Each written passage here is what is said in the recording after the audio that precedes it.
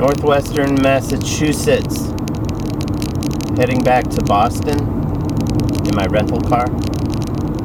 Speed limit's around 30 or 35 miles per hour. It's super beautiful out here. I love it. Lots of mosquitoes though. Oh my gosh.